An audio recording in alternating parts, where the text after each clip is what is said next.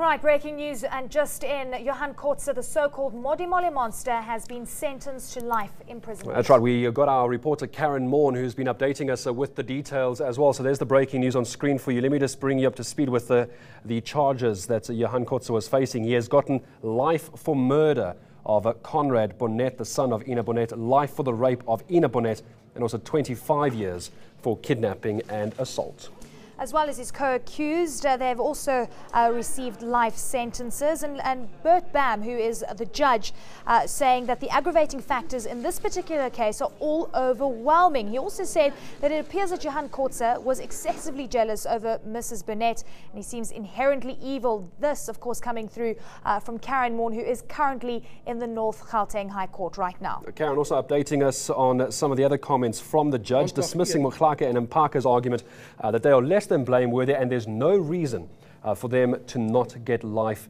in jail as well. Peter Mohlake and Frans Mphaka uh, may have not been part of the planning of this crime, but that doesn't help them, and that's why they were given that sentence. Okay, so Mohlake, uh, and Impaka both get life sentences, and it seems that Bam, uh, Bert Bam saying that there's no reason not to give Andre Sithole as well a life sentence. So all three, despite the fact that Andre Sithole did fight against this, and, he, and Bert Bam saying that it's clear that Andre Sithole supported and helped Johan Kotze in the attack on his wife, and it appears that he would have been paid to do so. The judge also going on to say, Eleni, that the, the assault on Ina Bonette and the mutilation, as he elaborates, means uh, that she will be permanently disfigured. And uh, according to the judge, that was Johan Kotze's goal.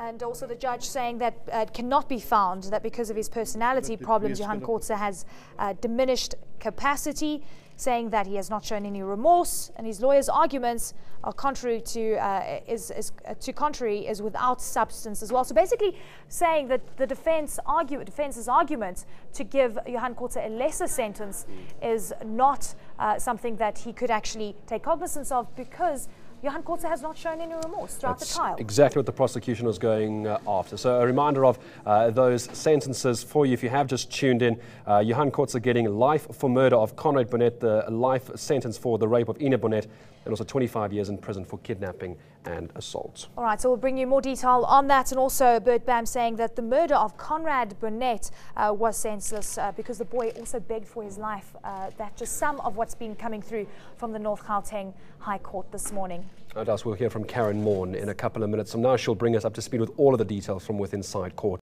News that moves. ENCA.com.